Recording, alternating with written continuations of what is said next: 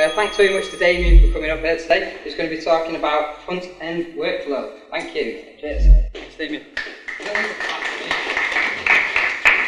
Um, thanks, Simon. Um, so let's start uh, by talking about front-end JS workflows.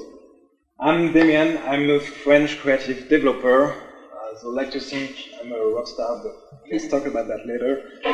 Um, I like to work on WebGL, Canvas, WebAudio, whatever that might be fun uh, in front end.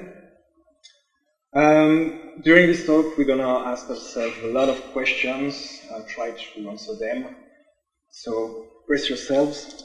Um, this is going to be divided in three parts. First, um, what are the common tools of our current workflow? The second time, we're gonna see uh, what is Gulp and what is new in the upcoming version Gulp 4. And finally, uh, we're gonna ask ourselves, are task runner, task runners still relevant and what to expect uh, in 2016? So uh, let's start with this first part. What are the common components in our current workflow? Um, just start by saying that I'm going to focus only on the development side, not the deployment, testing, other sides of the workflow. And I'm to divide that into four components, uh, which are package manager first, uh, the module system, which is related to the third component, the module loader, and uh, the task runner. Uh, those are tools that as front-end developer we're using on a current, on a daily basis. But I think it's good sometimes to just hit the pause button and remember what uh, are those tools. So let's start with our first component, uh, the package manager. The main function of package manager is to handle dependencies. But what is package? Um, could be defined as a set of files that are bundled together and can be installed and removed as a group.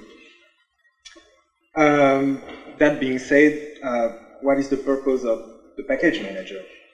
Uh, it should handle the centralization, meaning that all of your package should be uh, lying in one place. And it should facilitate the installation and uninstallation of those packages and also um, uh, under the upgrade of these packages through versioning, so we're giving uh, version to each packages, uh, and that facilitates the dependency of package, package dependent from other packages. All right, uh, in the JS world, we got two main competitors, which are Bower, claims to be the package manager for the web, and we got uh, NPM, which is uh, claims to be the package manager for JavaScript and a lot of stuff. But uh, I also want to introduce JSPM, the JavaScript package manager. Some of you know it.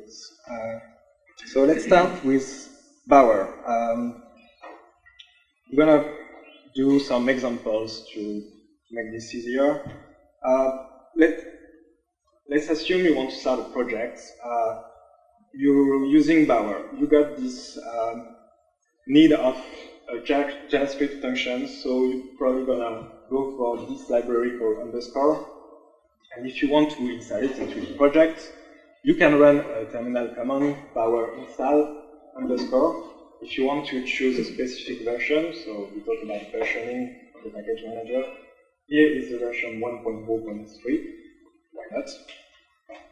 And then later on, at some point, uh, you may want to use a JavaScript framework to uh, make better code and more organized code. So may want to use Backbone, which rely on underscore as a dependency. And you try to run this command in your project, bower install Backbone. But then uh, Bower doesn't like that. It has to uh, it says unable to find a suitable version for underscore, please choose one. Why? Uh, because Bower is based on the assumption that there can only be one version of a library in the browser at the same time. So you have to choose. The choice of dependency is left to the user. Here we're probably going to go for the second one, which is the most recent, uh, because Backbone uh, requires a version greater than 1.7. And we all set up now. We got a Bower components folder, which contains uh, our three dependencies for our project, and That's basically what Bower does, getting your dependency from a single command line. But the thing is, uh, to use Bower, you have to install it on, the machine, and uh, you do that using npm. So you really need Bower on top of npm. Let's compare this example with uh, the same uh, walkthrough uh, with npm. Looks pretty much the same. We run the command npm install, we select a version, and then when we want to install Backbone, we run npm install Backbone. And we got a node_modules folder, which is created in the project.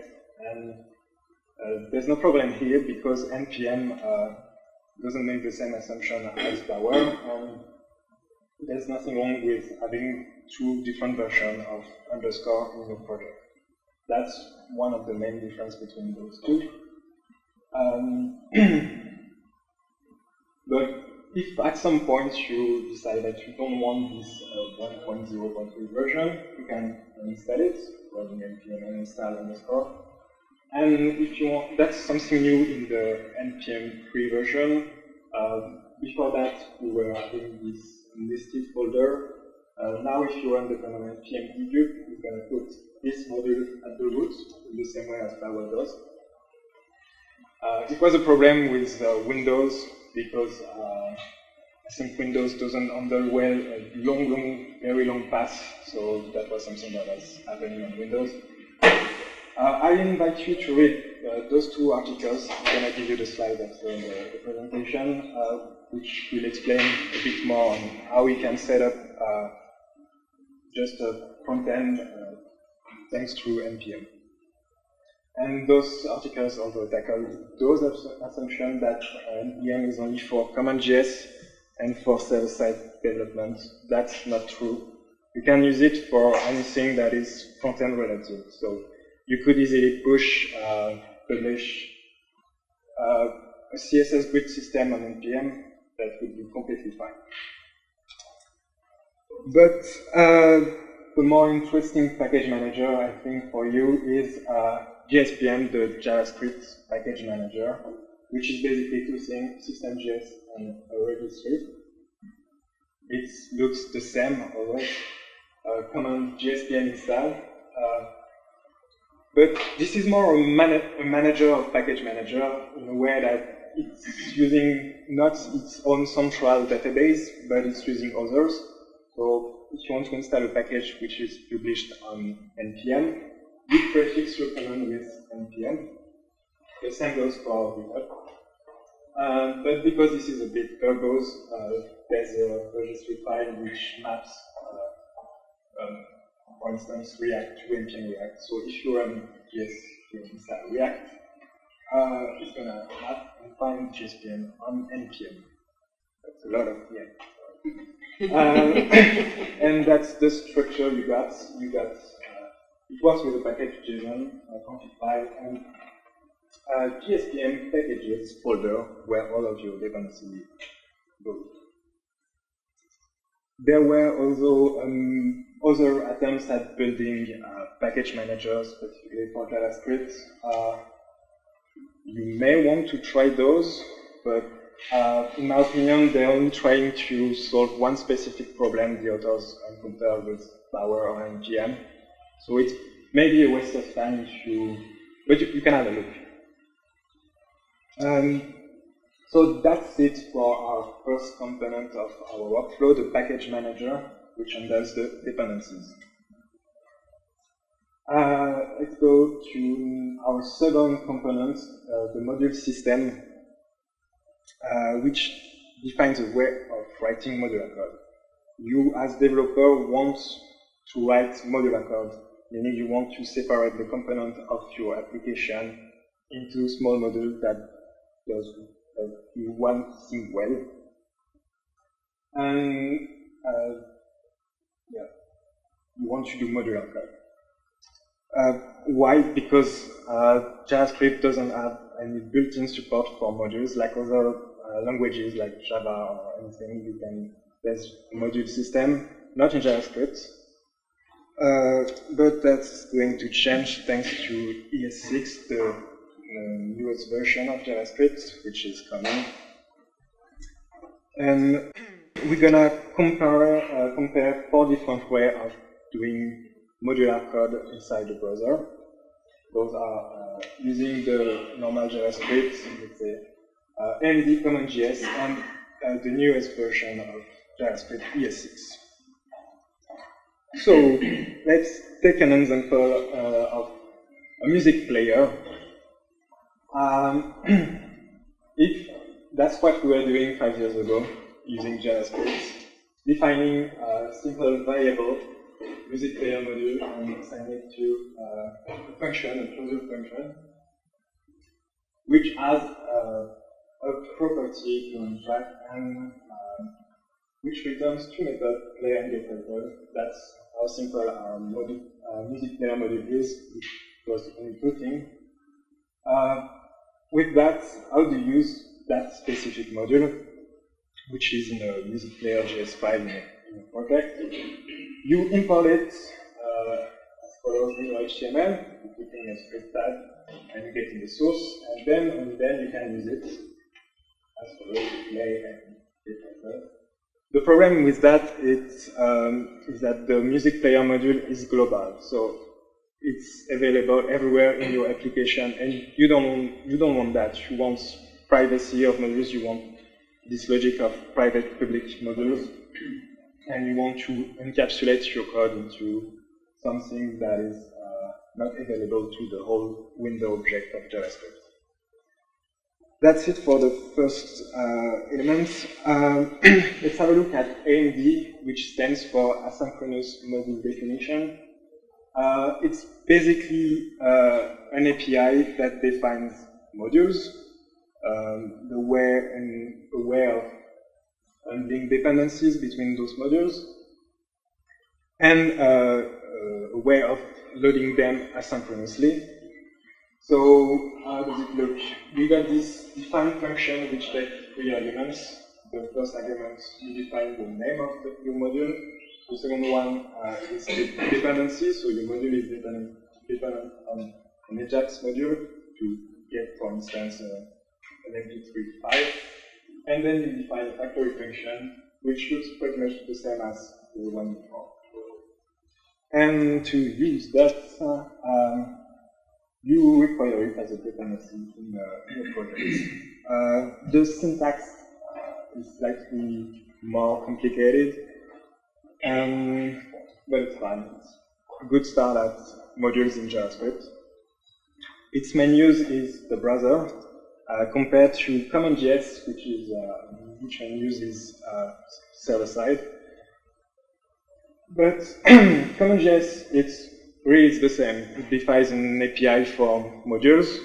It defines a way to handle dependencies between modules.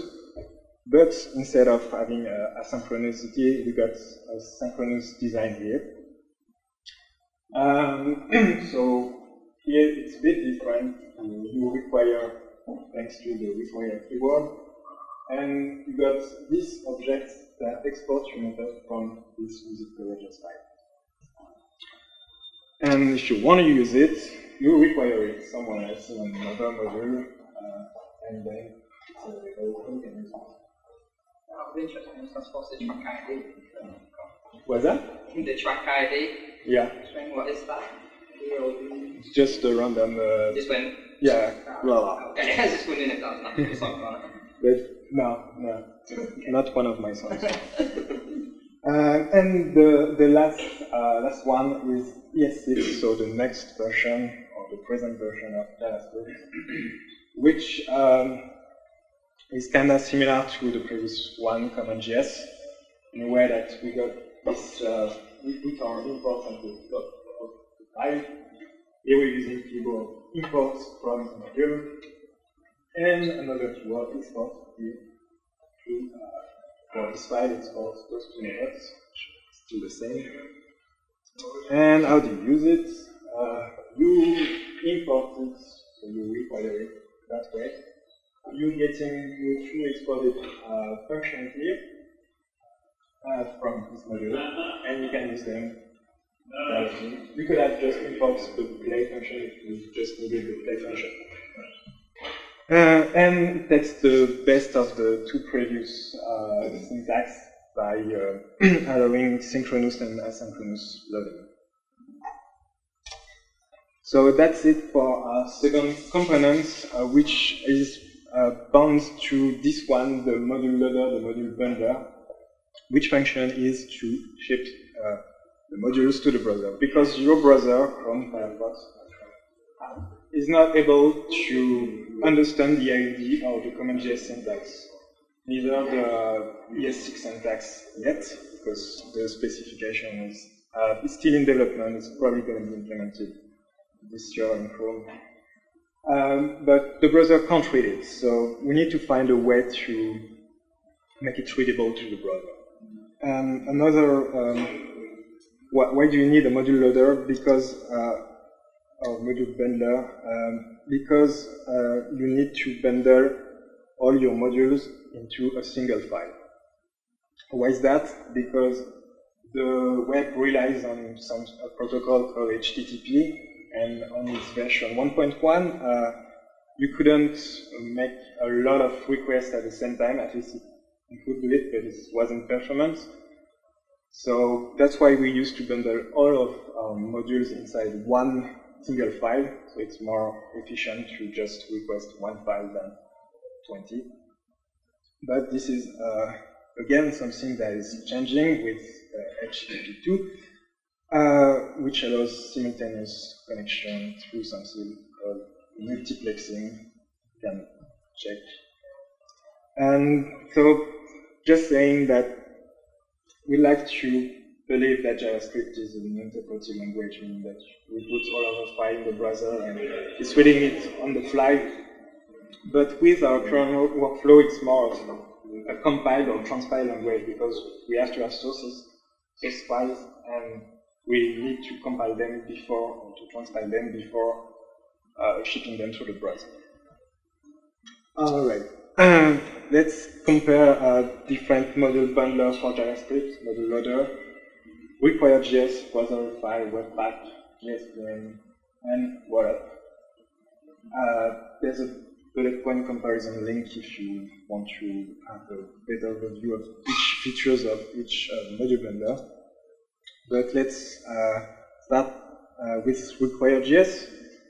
Um, it works well with the, with the AMD syntax. And the main feature of it uh, for me is that you don't need this bundle step, uh, at least in development. You can just uh, uh get um, the entry point of your application and require is um, able to determine which module you should load, uh, which module is dependent on which module, uh, etc. So you don't have to go through that step of bundling your files.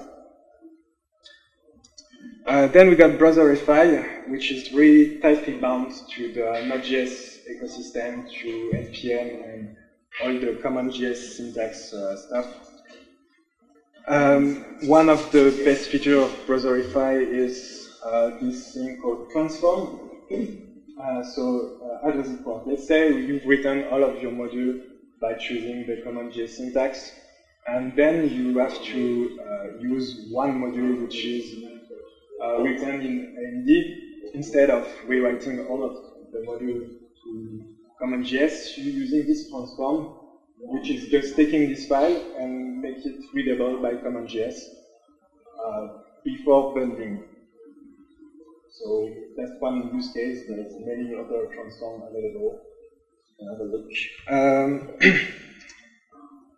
this next one, Webpack, um, it works well with CommonJS and AMD. It's not as bound to Node.js as uh, Browserify. And we got this feature called plugins, which is kind of the same as the transforms, and it provides the same option. Uh, the difference is that it puts much much more stuff into its core, so that's an option, not bad option. And so remember we talked about JSPM, the JavaScript Package Manager, and one of its components was SystemJS. Uh, and what is it? It's, it's a modules bundler, a module loader, exactly, uh, which understands every syntax in JavaScript possible. Uh, this is compliant with the ES6 module specification. So this is basically what's going to be the future of JavaScript uh, in, module loading. And takes the best feature of require.js because uh, you don't need to bundle and find the dependencies. And you got plugins as well. Uh, and the last one, Rollup yet another module bundler, but that's not my point here.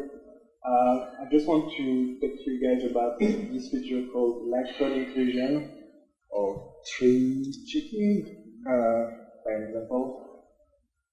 So let's say you got a Node.js file which has two objects in it, and you export those two objects.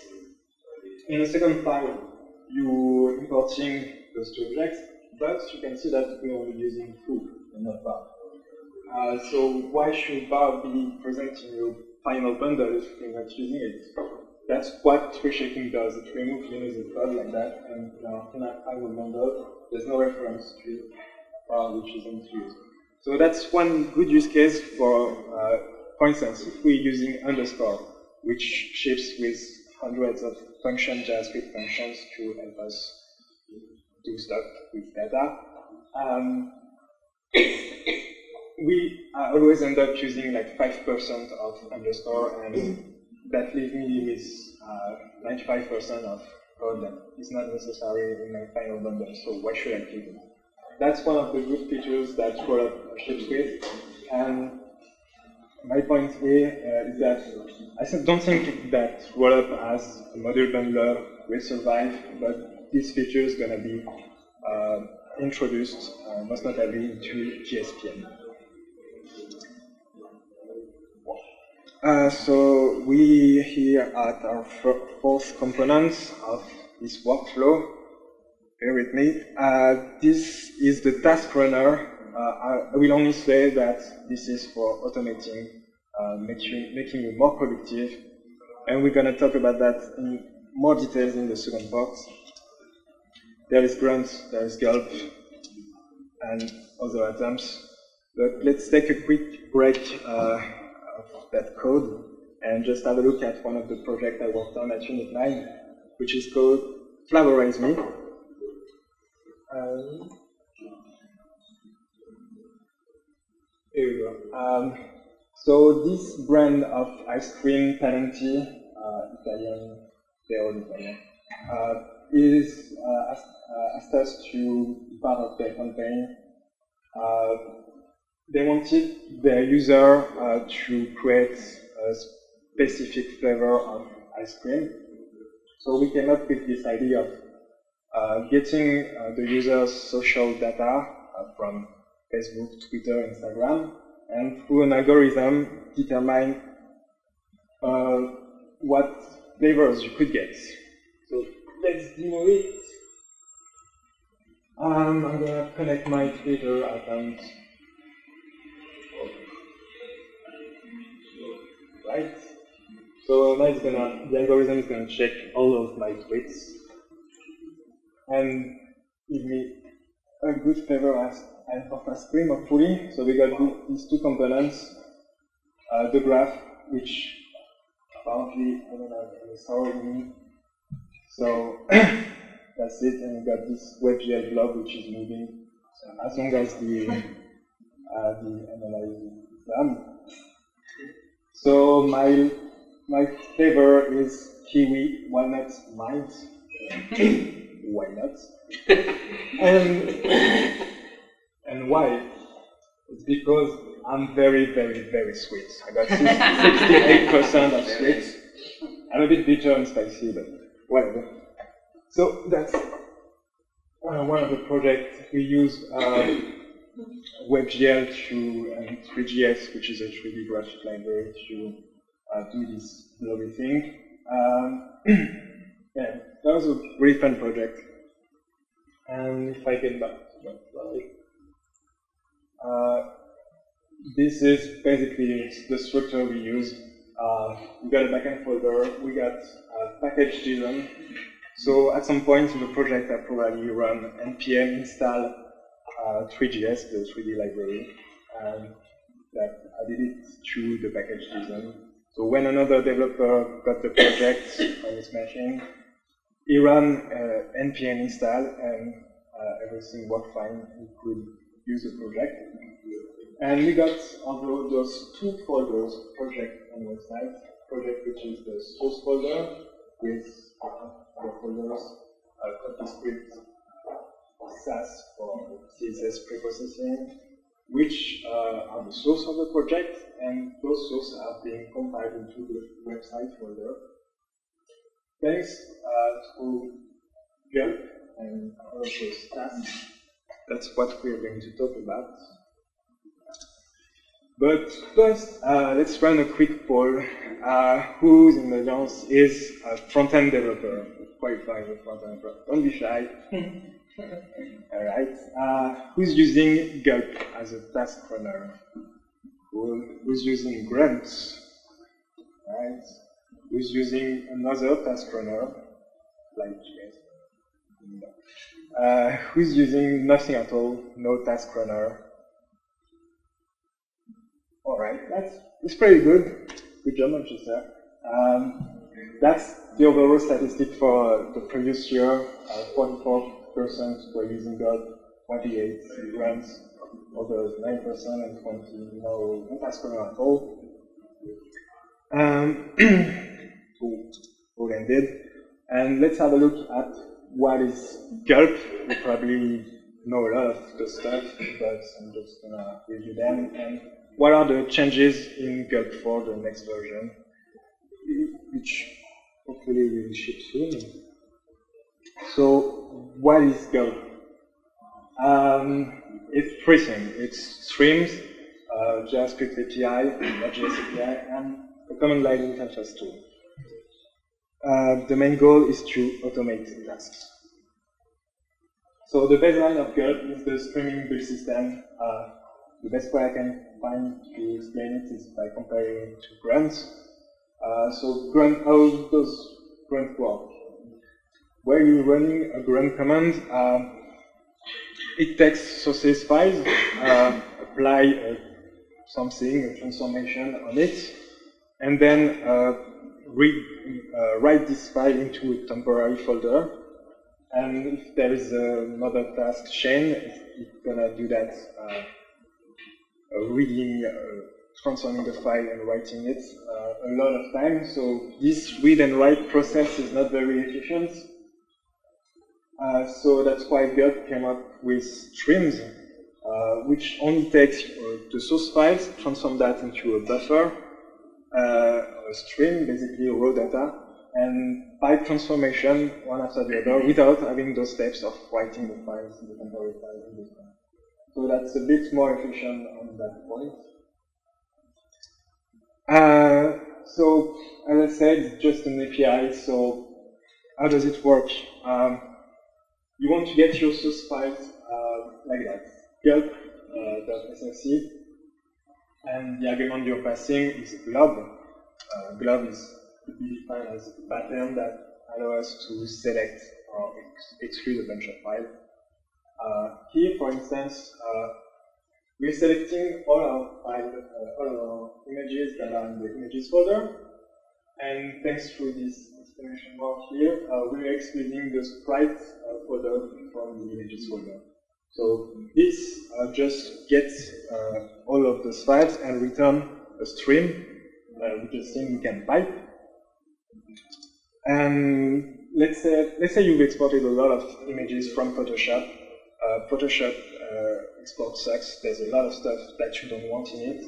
So you're using a plugin to minify your images to make it, uh, to make them more uh, performance uh, in terms of loading on your browser. And how you do that? You use this pipe function and you put the plugin image in it.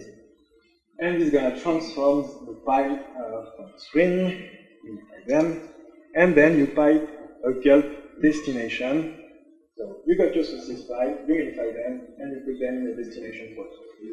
It's as simple as that, and in three lines, you, you just do uh, what have you take a lot of time by going to TinyPNG website, uh, um, uploading your files and getting them back, putting them in the destination folder. That's just automation. Um, but the API is uh, about task and watch because we have the content of a task, but we need to find a way to call it in some way. So we're using gulp task uh, here with two arguments, name of the task, images, and the content uh, function. Uh, this exposes the images uh, to the programmatic API so that we can uh, then call it as a dependency. So for instance, if you want to files, uh, you need first to uh, run those three tasks, images, take a break and smile, and only when those three tasks are done, you can run the function that, that is here. But it uh, also exports uh, that the watch uh, watch function. Basically, it's just uh, you don't want to run your command each time you get new images, so you just run something that watch changes in your images folder, and each time you're adding a file to the images folder, it's gonna run the images task and put them in the destination folder. But more importantly, it exposes the, this image task to the command line interface so that you can run your images and go through that. yeah, that's as simple as that. Gulp, the name of the task, the name of another task. Easy. Um, but a few just have change in the notion for Gulp. Uh, that's how you install it now. Uh, there were some API changes and a new task system. Uh, I put together an example on GitHub, uh, which is, uh, I think, a good start to get a grasp at what is Gulp for. And uh, it's far from being perfect, but it's a good introduction. If we go back to our first part, it's using as package manager npm the module syntax is uh, ES6, but you can use others. The module system is Browserify, and the build system, obviously, is Gulp. So let's have a look at those new changes. We still got the source, destination, watch, and task uh, method, but uh, this one has a new syntax. Forget about the three argument syntax, this doesn't exist anymore in Gulp 4. And we also got uh, those two new methods, parallel and series. Uh, what do they do? Uh, before Gulp 4, that's how you run, that's how you handle dependencies uh, tasks. If you want to run serve and watch three random tasks um, at the same time, and uh, after markup style script images are done, you have to do it like that using a plugin Node.js module uh, for the run sequence, uh, where you put uh, all the tasks that you want to do in parallel are put inside arrays here, and they are separated if you want to do them in series, you separate them by comma. So here we got two series and um, four and two parallel. Gulp 4, that's how you write it. Uh, for me, it looks uh, much easier to understand. We run those two lines in series and uh, use those parallel, those in parallel. Uh, that's a good way of combining all those tasks. So the new task system. Uh, remember, this is uh, what we got in Gulp 3, with three argument syntax, uh, with the name, the dependencies, uh, the task dependencies, and the actual content. In Gulp 4, uh, we use uh, two argument syntax, so let's say, for instance, we got an ES6 uh, file uh, which exports three gulp tasks or the other tasks. Optimize images, generate spaceships, generate favicons. And you import them in your uh, gulp file. And how do you use that now? How do you use gulp, gulp task? Uh, you define the name, and then you run uh, gulp parallel to all instance. So now gulp task is only used for something that you want to call from the terminal and not something that you want to call as a dependency. Because as you can see here, those are just plain functions. Those are not uh, tasks, gulp tasks. And there, although this syntax that works with only one argument, one function, if you're using a name function, that's enough for exposing, uh, exposing to. You can run gulp clean, which uh, gonna just delete files in the dist folder using the then module. Um, but what I think is a good advancement for gulp is that it's, it allows to it allows to reuse modules. For instance, I got this file clean.js. If you look carefully, there's no dependency on gulp at all. So let's say tomorrow you want to ditch gulp and use something else. This is just Node.js. You can use this file uh, without having to rely on gulp. And that's a good point, which we introduce our third and last part. going to be quick, I promise. Uh, which talk about uh, npm scripts and yes, but let's start with npm scripts. Should we stop using those tools? How to use npm script and are they the solution? Uh, this is a legitimate question because for me, a lot of plugins are just wrappers around something, some tools that we could easily call uh, uh, on, on the terminal. And Another problem is that you have to rely on global dependency, which is the key specific to each task runner. So if you want something self-contained uh, to avoid problems, that's maybe not a good solution. And yeah, most most tasks can be achieved by using terminal commands, and that's something that you should be using the terminal. Uh, if you doubt about that, just have a look at Simon's uh, file on GitHub. And you see that there's a lot of stuff very interesting that can speed up your workflow. And so, I do use uh, npm scripts? We got a package JSON file.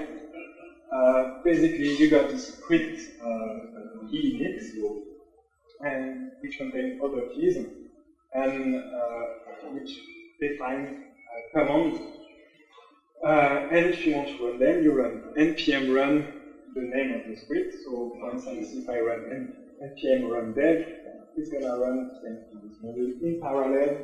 Those three uh, scripts, we're going to look at them. Uh, the scripts, dev scripts, is just a browser file, which takes a file, transform them uh, using the transform ES6, ES6 file and transform them into uh, ES5 uh, and put them into a destination folder.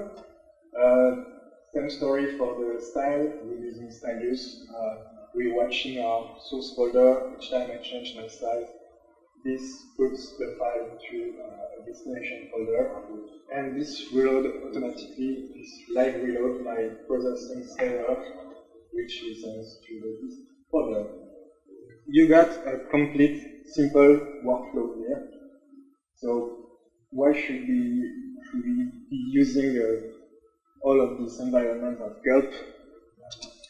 Yeah, there are a lot of pros. It's fast to configure it if you know how to use it. There's, uh, it's fast to build. Uh, all the config is in one place, so no more uh, search for this particular task and there's no extra global dependency. But one of the biggest problems is the readability of the commands, which can be tackled otherwise, and the compatibility between Unix and Windows systems, because some command doesn't work the same on Windows than they work on on Unix system, OS 6, uh, etc.